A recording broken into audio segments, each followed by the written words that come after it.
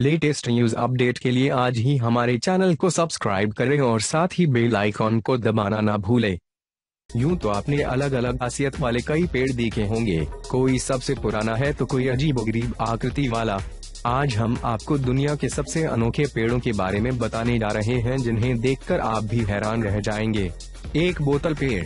यह पेड़ नामीबिया में बना है और यह धरती के सबसे घातक पेड़ों की गिनती में आता है। इस पेड़ से निकलने वाला दूध या रुपए बहुत ही जहरीला होता है।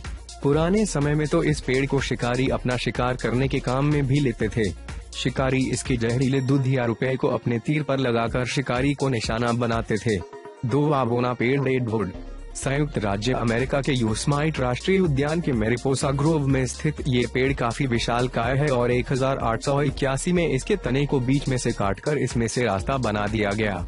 इसी कारण ये पेड़ पर्यटकों के लिए एक खास आकर्षण का केंद्र बना रहता है। तीन ट्रिपॉट बाओबाब एक हज़ार साल पुराने यह पेड़ में डागास्कर से मिलते जुलते हैं। इन पेड़ों की ऊंचाई करीब अस्सी मीटर होती है, जबकि इनका तना करीब 25 मीटर से भी ज़्यादा मोटा होता है। सूखा पड़ने की स्थिति में इनका तना अपने लिए पानी इकट्ठा करने का काम करता है। सावन के मौसम में जब इन पेड़ों पर फूल लगते हैं तो वो सिर्फ़ 24 घंटे तक ही रहते हैं और फिर टूट जाते हैं।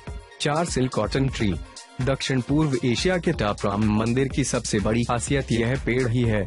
इस पेड़ की जड़ों ने इस मंदिर को चारों तरफ़ से जकड़ रखा है। इस पेड़ की ऊंचाई बहुत ज़्यादा है और पर्यटकों के लिए यह पेड़ आकर्षण का केंद्र बना रहता है। यह मंदिर यूनेस्को की विश्व विरासत है। पाँच हाइपेरियन। यह दुनिया का सबसे ऊँचा पेड़ है। इस तरह के पेड़ 1200 से 1800 तक ज़िंदा रहते हैं।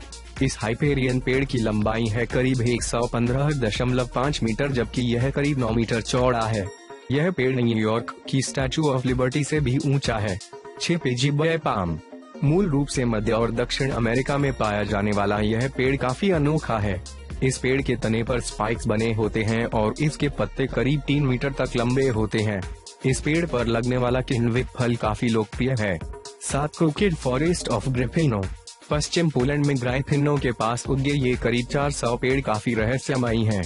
ये पेड़ बड़ी अजीब आकृति के हैं और इन पेड़ों की ऐसी आकृति कैसे बनी यह कोई नहीं समझ पाया। किसी का कहना है कि इंसानों ने ही इन पेड़ों को ऐसा आकार दिया है ताकि इन्हें फर्नीचर, हल और नाव बनाने के काम में लिया जा सके।